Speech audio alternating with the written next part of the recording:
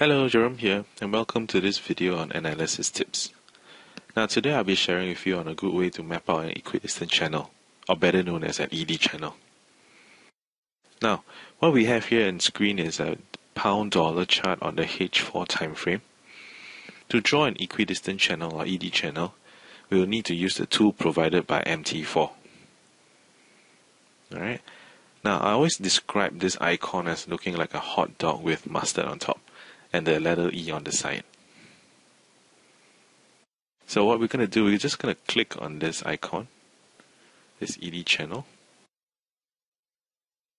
Now the way to use this tool properly is to click on the tool, select one high on the chart, while holding down your mouse button, click and drag your tool to the next high on the chart. All the while holding down the mouse button. Now, what you're going to do then is to double click on this ED channel so that the modification boxes appear. Now click and move the bottom band of the ED channel so that it touches one of the low points on the chart. And there you have it. You've just drawn an ED channel using the ED channel tool provided by the MT4 platform. Now I'm going to explain a bit more on the modification boxes so you can adjust the ED channel. The two ends of this uh, ED channel controls the tilt or the pivot.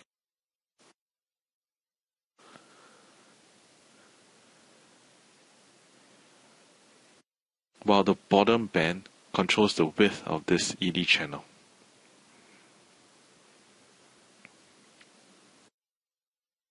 And the center modification box basically allows you to move the entire ED channel around. Now there's no hard and fast rule on drawing an ED channel, but aim for the best visual fit so that you can have as many points as possible touching the inside of this channel.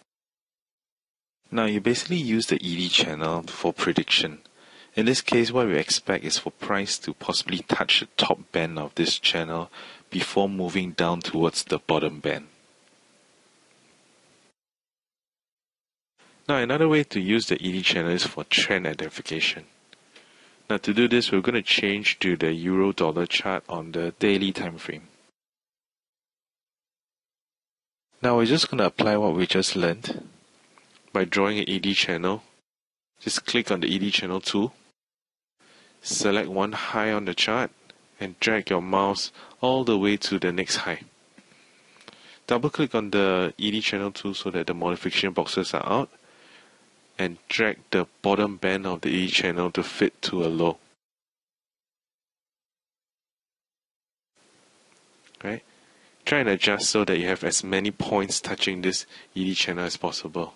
Now that you've drawn the channel, we can see that Euro is still moving within this downward ED channel. Thus, we can say that Euro dollar is still obeying an overall downward trend. Okay, that's it, and thank you for watching. This is Jerome signing off. Mai mai kondo la li ka pe pu ka yu mau mau. Abi poki poki lau i ka pu pu ha. Di ka pika di ka te mai buri. Apon yo mai